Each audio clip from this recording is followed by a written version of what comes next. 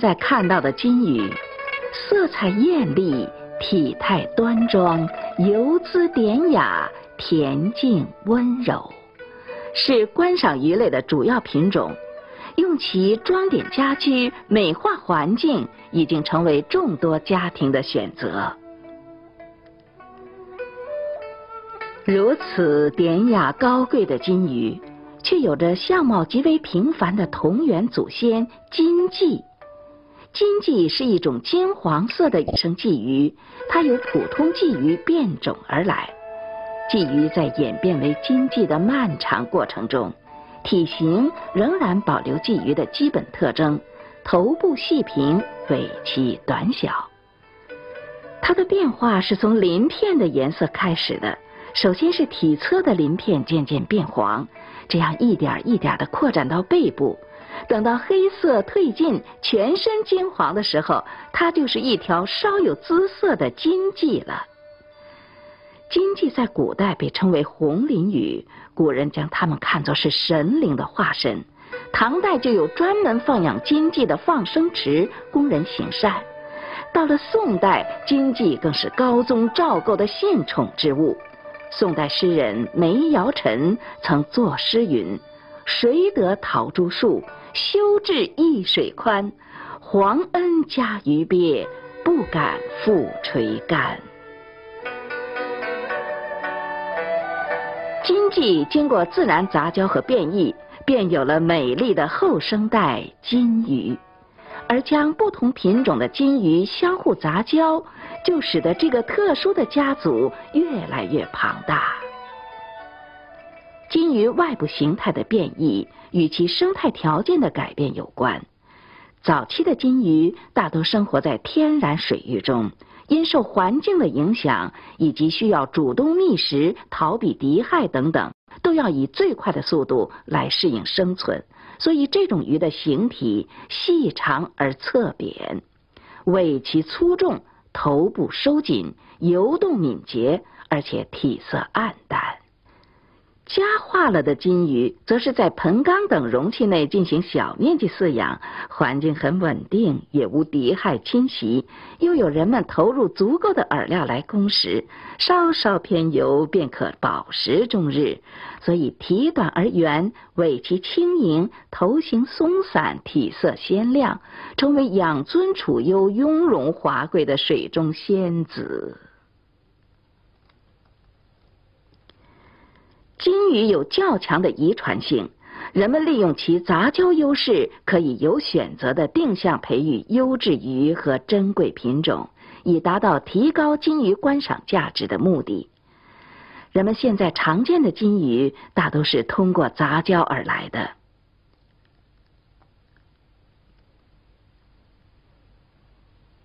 皇冠珍珠是狮子头与珍珠鱼杂交的后代。它头上的肉瘤完全是父亲的杰作，肚子上的珠鳞却是母氏家族的象征。为了获得外形特殊、颜色鲜艳的紫带鱼，人们通常选择品种特征差异大、色形态最佳的亲鱼进行交配。这样，经过年复一年的选择育种和异系交配。就可以获得品种新、质量好的理想上等鱼。每一种金鱼都有它值得展示的地方。已经有表演者在迫不及待的抢镜头了。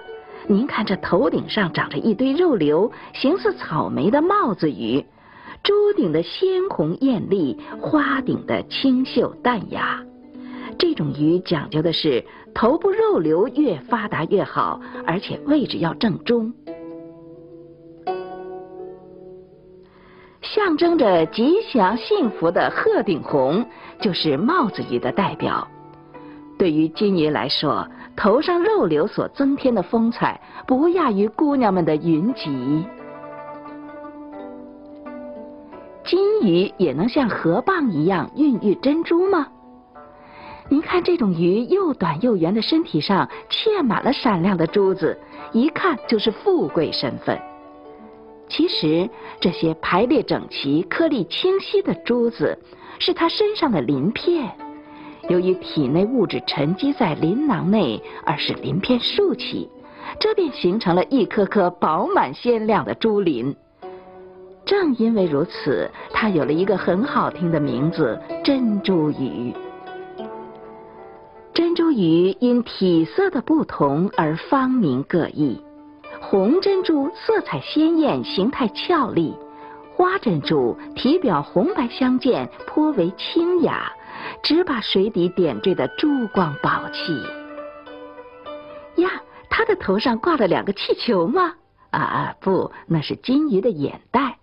这种被称作水泡眼的金鱼，左右眼球下方的眼睑各衍生出一个水泡，里面是半透明的组织液。水泡的泡膜很薄，轻易不能碰触。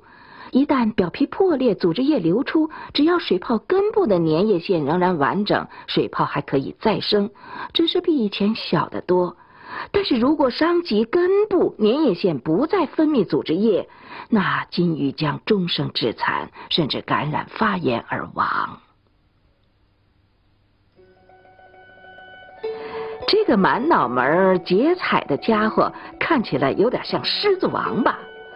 他头上的两束花球可不是人们挂上去的饰物，它们是干什么用的呢？其实并没有什么实质的作用，而是由于这种金鱼鼻隔膜变异，鼻内的肉液过于发达，长到鼻孔外面来了。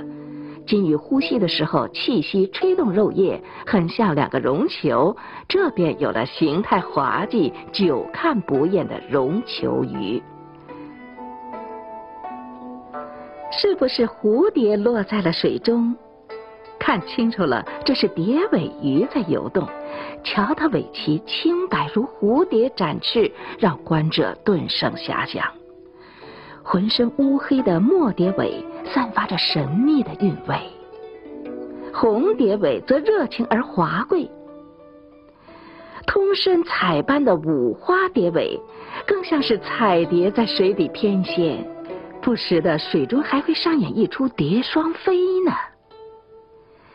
金鱼的体态奇特多样，体色更是丰富多彩。在金鱼的世界里，色彩之斑斓可谓是观赏动物中的一绝。有的金鱼啊，通体只有一种色彩，像憨态可掬的红狮子头，全身为红色；有的是两种色彩集于一身，形成极为鲜明的对比，代表鱼有娇艳的鹤顶红。颜色最为复杂，也显得最为斑驳的是花鎏金，全身像是滴满了油彩，偏偏还喜欢四处炫耀这身花衣裳。人类对金鱼的宠爱自古有之，早在宋代初期，著名诗人苏舜钦的《九和塔》诗中已经有记载：“岩桥待金鲫。”近日独留池。见过人工精心选育后的金鱼，品种越来越丰富，体型更加奇异，色彩更为缤纷艳丽。随着饲养条件的日益改善和杂交技术的不断提高，这轻舞在水中的小精灵将会更好的美化人们的生活。盆景水草俗称鱼草，有些地方人们称之为随心草或如意草。近几年来，这些特有的观赏型水生植物在市场上身价倍增，可以和一些名贵花卉竞相媲美。盆景水草适应能力强，不论是在酷热的炎夏，还是冰封雪裹的寒冬。只要有它适宜的温度，水草都能郁郁葱葱地生长起来。据植物学家介绍，水草有调节大脑中枢神经的功效。养殖水草十分有益于人们的身心健康。在水中婀娜似有意，几枝碧绿到新来的意境中，一目养神，其乐融融。那么，适宜家庭养殖的水草都有哪些品种呢？养了有多少种品种？二十多种吧。二十多种。二十多种啊，都属于什么品种呢？呃，我我把大多数的跟您背背吧。啊。呃，皇冠、宝塔、宝塔、红玫瑰，呃小水兰，呃玉簪，反正就是这些个呃大伙儿都喜欢的水草吧。水草的繁育一般分为分蘖繁育和茎枝扦插繁育。在水缸内铺入豆粒大小的河沙或者沙质，将水草移栽或扦插在水层中即可成活。种植水草前，水缸要用高锰酸钾或盐水消毒，擦净缸壁上的污物，再用清水清洗干净。这样可以杀灭各种病菌，确保水缸清洁，从而为水草生长提供一个良好的环境。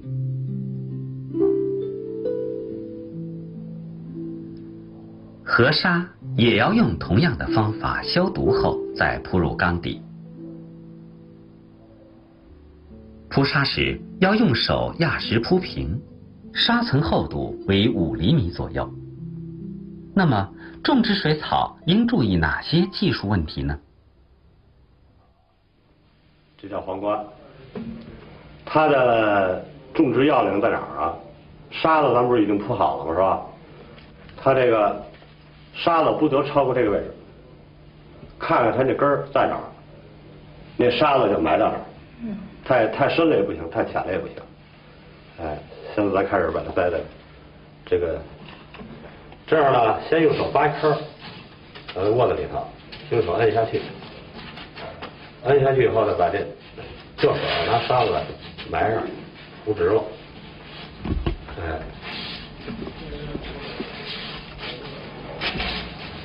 这儿就行了。沙子一压着根就把它塔呢叫瓦塔。栽的时候呢，注意，因为它没有根儿，新新掐下来的，新繁殖的，把根部这些个。一枝摘掉，摘掉的目的是什么呢？它这时候这个叶儿啊，在这牙口这儿长着呢。可是你要栽在沙子里边，它要出根，它也得跟这儿出根。你要有叶儿耽误着了，它它出不来根。出根。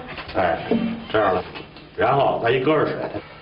这个草叫红玫瑰，它的生长期呢两个月左右。这个栽草啊，看是什么品种，棵大的。您栽的时候就稀点棵小的呢，栽的时候就密点哎，所以这就是你手下酌情处理。再说说这个冬夏天的管理。冬天呢，其实咱们栽的都是热带草，那就是说在温度上您必须要下功夫。哎，不管是您是暖气，您还是是热力棒啊，反正您得想办法让这水温提高。嗯提高到什么程度呢？你比如说这红玫瑰，刚才我说了，它这个它需要的温度比别人要低，嗯是吧？那最好是你这个缸里栽红玫瑰，你那缸栽瓦塔，别让它混栽。混栽你这个温度不好掌握了。水草栽入缸内，要及时向缸内注水，水要沿着缸壁徐徐注入水缸，加水量通常为水缸容。二分之一最为适宜。还得准备进草现在植的水草要经常检查，因为水草尚未扎根，容易被水漂起，应及时发现，及时补栽。同时，缸内的水要经常循环，以保持缸内水质清新。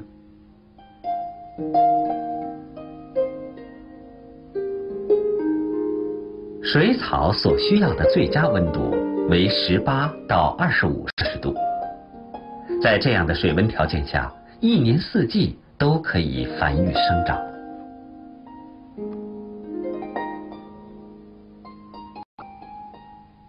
冬季供暖用的煤炉，可以因地制宜，自己动手制作，既可以焊铸铁炉，也可以用砖块或泥坯砌成。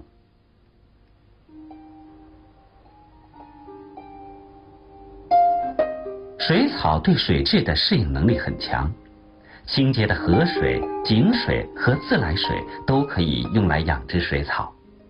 用绿色的拱形塑料水管连通每个水缸，使缸内的水保持不断循环流动，以此增加水分子氧的含量，促进水草的生长。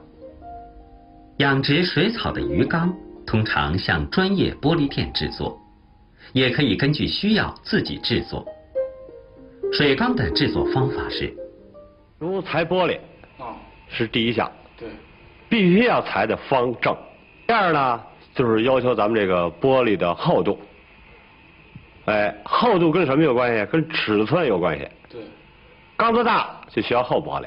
哦，你比如说吧，四十指的是公分啊，对对长一米，对，高呢像这个缸是四十，四十啊，这宽四十，高四十，长一米，就这样的缸子，嗯，您就得照着八厘的玻璃，八个厘米，哎，八毫米的玻璃，八毫米的玻璃，哎，这样呢，它可以经受这个缸子里边承承受的这压力。另外，你粘这个缸的尺寸呢，根据你个人而定。嗯，你是养鱼啊，还是养草？以什么为主？对，是吧？要是养草的缸呢，让它稍微高一点儿，但是高也不能超过五十公分。不能超过五十公分。哎，要是养鱼为主呢，呃，你这个池子就合适。为什么呀？你要是太缸太深的这个缸，水就深。对，水深呢，里边产生的氧气就不够用了。哦，对，哎，那你你多你多个深的水，那鱼也在上边漂着，因为下边缺氧。这一块是哎起什么作用？这个呢，哎，刚才咱讲这个这块儿没跟你讲的哈，这块中间这块玻璃啊，对，它就是为了搁上水以后，对，这个有压力以后，这两个长面两个一米的这长面儿它就要往往出闪，对对对，是吧？就成快成一弧弧度了。这样它压力再大了以后，它不就玻璃就碎了吗？对，起个加固的作用。哎，这个呢就是加固，这还是主要很主要的一点，哦，必须得有这个，对，用胶粘住两边养殖盆景水草，投资少，风险小，是一项适应大中城市郊区农民朋友选择的短平快项目。为了提高经济效益，在栽培繁育水草的同时，也可以随带养殖观赏鱼，做到鱼草并举，一举。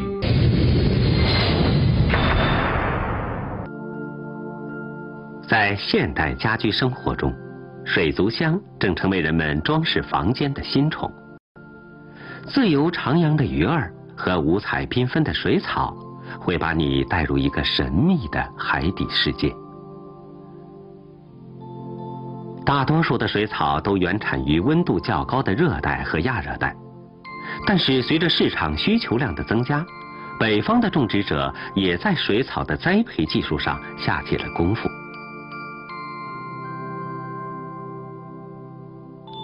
和其他南方作物一样，水草要想来北方生活，首先必须解决温度的问题，所以水草住进了塑料大棚。大棚里的温度至少保持在十五摄氏度以上。傍晚温度较低时，可以在大棚里安装取暖设备，或将大棚上的草帘放下，以确保棚内的水草不会被冻伤。在大棚种植水草，首先要修建一个种植水草的理想平床。平床的长和宽一般没有严格的规定，种植者可以根据有效利用土地面积的原则自己制定。但是平床有旱床和水床之分，旱床的整地和其他农作物一样，整平就可以了，只是播种前要将平床浇透。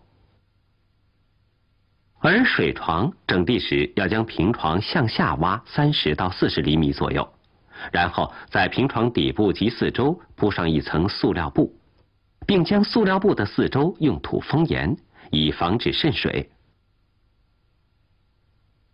塑料布铺好后，向平床里加入一些透气性良好的壤质土，并在其上撒一层腐熟的有机肥，厚度大约零点五厘米。有机肥要撒匀铺平，然后向平床中注水。注水时水流不要过大，防止将平床底部的基质冲散。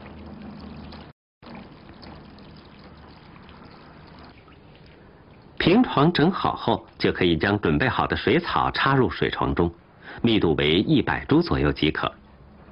在水床中种植的水草必须完全浸没在水中，否则会影响水草的植株形态。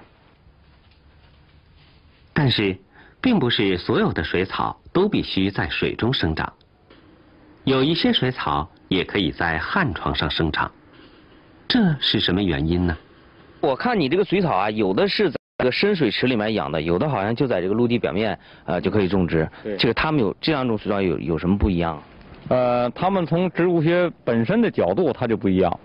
您比如讲啊，这个沉水性植物，嗯，就是说在这种蜈蚣草，它属于沉水性植物，啊，也就是说它这个叶片的组织细胞组织相当薄。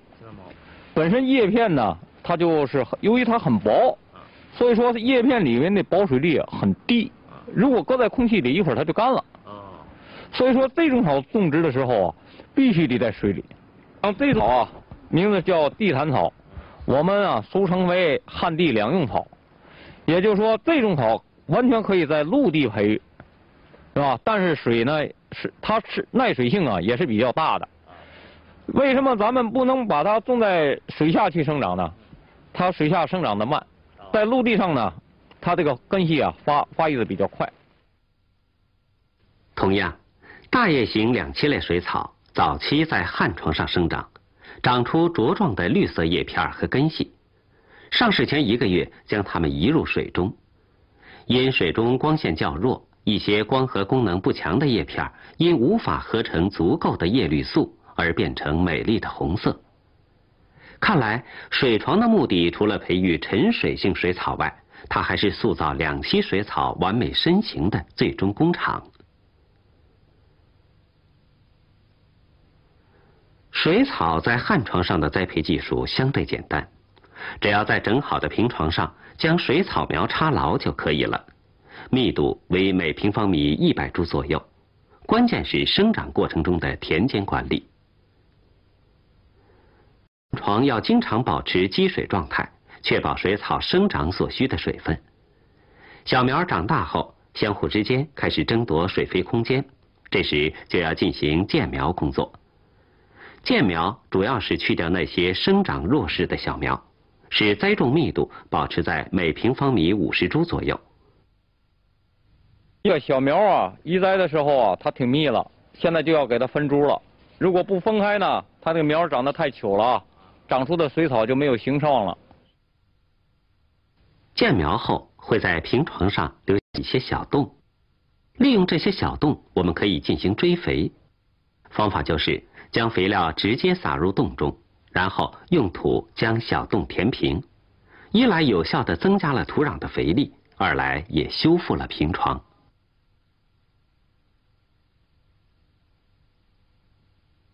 原产于南方的水草。适宜在高温高湿的环境中生存，但是极端的高温高湿会引起水草的病虫害。一般来讲啊，这个水草这个病虫害啊，大部分都是在夏季时候产生，所以呢，我们就要采取及时的药物处理和杀菌灭菌这个处理，不然的话呢，它把这个水草的形态啊、叶子啊，全要把它。咬坏了，甚至说腐烂掉了。通常我们用什么样的药剂来处理这些病虫害呢？那就看它是由于哪种原因产生。你比如讲是染菌性的，那么咱就大量用这个杀杀菌的药物；如果属于虫灾的，我们就要用一些个青虫青虫霸，是吧？用这些个药物来把虫子杀死。打药的时间最好在傍晚进行，因为此时棚内的温度下降，水草的蒸腾作用减弱，有利于药剂的吸收，提高药效。在良好的栽培管理条件下，经过一个月的时间，水草苗就可以移栽到水族箱里，供人们观赏了。水族箱里由于光合作用较弱。也没有机制供应养分，所以水草的生长非常缓慢或者停止生长。为了保证它美丽的形态，就必须定期在水族箱内加入营养液。营养液包含氮钾等矿物质和一些微量元素，以满足水草维持生长需要。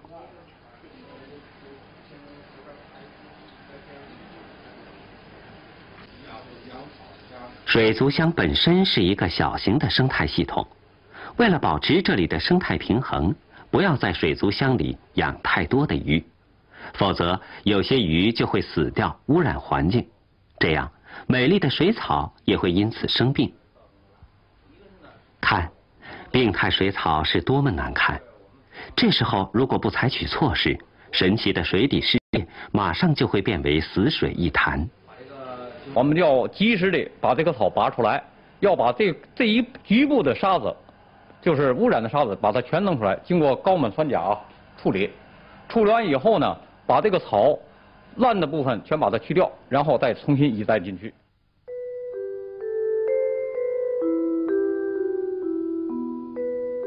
水草这种美丽的植物，在自然界中，它只不过是毫不起眼的一份子。但是在人工栽培的条件下，却把人们的生活空间装扮得如此美丽多姿。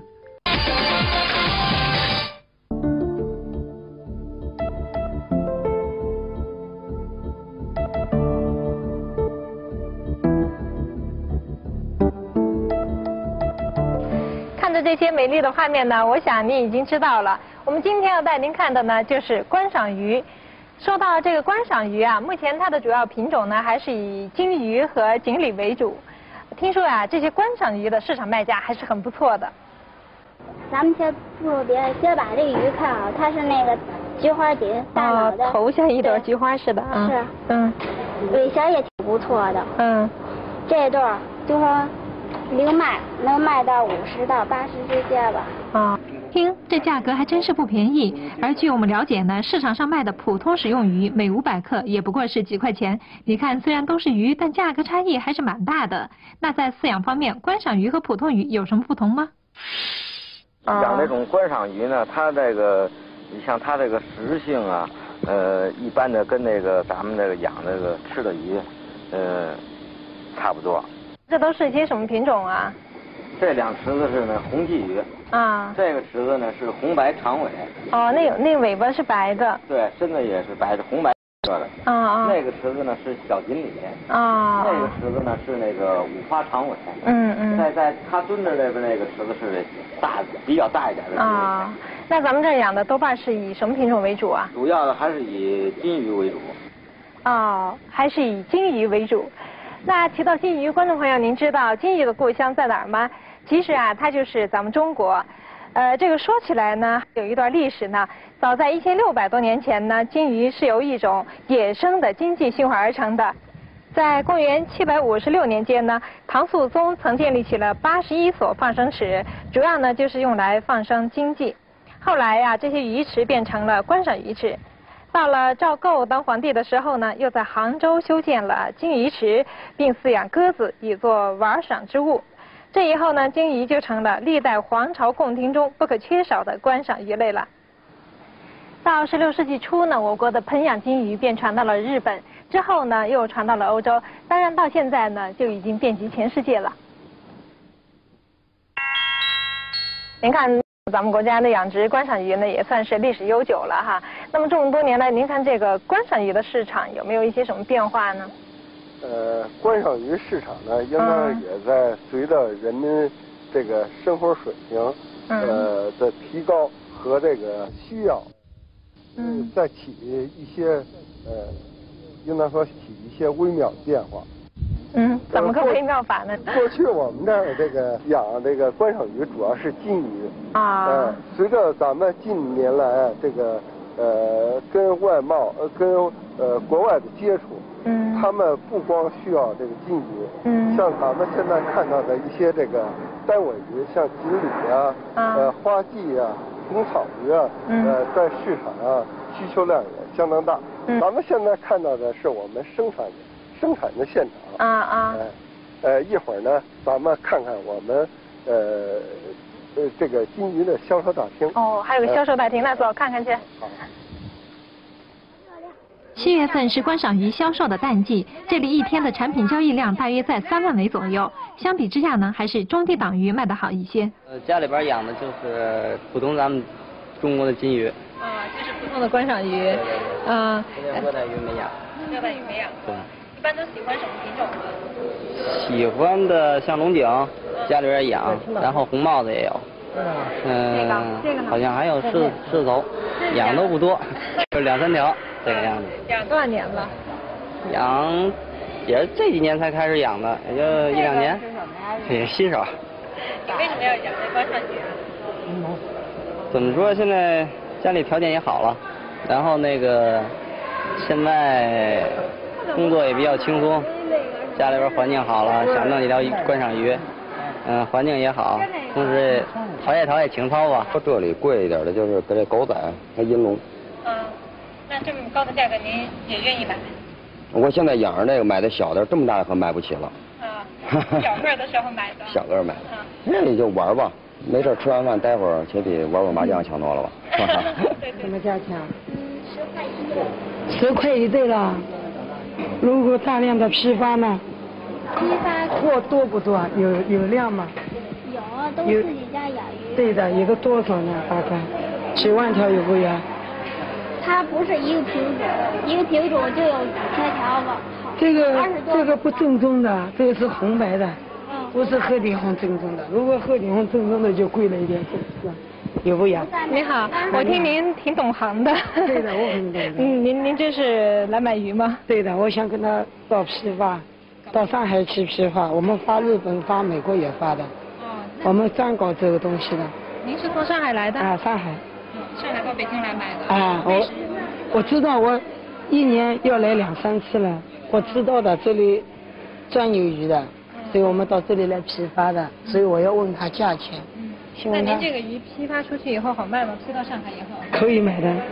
你一般是在那个？江阴路花鸟市场、朝阳路花鸟市场两个最好的市场，我们有门面的。哦，那您在上海卖这些观赏鱼卖多长时间了？卖了。十几年了，好长时间了。十几年了，对的。啊，那以您来看，现在上海市场比较喜欢哪种类型的鱼啊？上海市场喜欢鹤顶红、六青、红丝，还有那个好的锦鲤。目前观赏鱼市场几乎遍及全国各地，一些高档鱼的卖价每尾可上万元，而中低档鱼的卖价呢就参差不一了，多的能上百元，少的却只有几分钱。人家。外国人上这边遛弯来，广告了什么打出去，就是上那卖。啊啊，那您觉得卖这个鱼的效益怎么样啊？效益算不错。您这卖的都是金鱼啊？对，都是金鱼。嗯，怎么样？这些品种好卖吗？好卖。嗯，买的人多不？买的人挺多的，就是城里的人过来买。机关大企业是吧？哎，还有大公司啊，都来我们这儿买鱼。嗯，他们买的一般都是质量稍微好一点的。呃，个个体大一点的，嗯，哎，还有一些刚才咱们看那些大大锦鲤啊，嗯，哎，都要那样的鱼比较多，嗯，哎，要求质量比较好，嗯，就是针对一个老百姓来讲吧，价钱偏低的好卖，就是稍微的中档中的好卖，哎。目前在国内市场上畅销的观赏鱼品种有红狮、鎏金、熊猫、龙晶、锦鲤。在国际市场上畅销的品种是花鲫、草金鱼、望天鱼、珍珠鱼、水泡鱼、虎头、红头。养殖观赏鱼呢是属于一项短平快的项目，再加上啊它的饲养技术也比较好掌握，那么这个市场呢也还不错，看来呢这还是一项好。